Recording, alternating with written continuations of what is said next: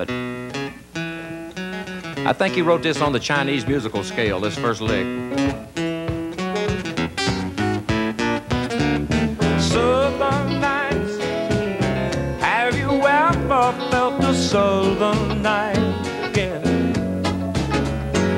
Uh, Just free as a breeze, and not to mention the trees, whistling tunes that you know and love so.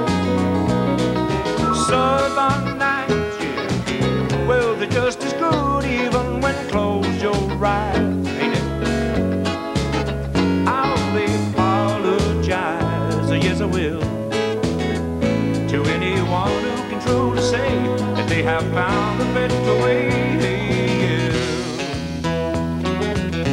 This was a big hit in Taiwan, too, really.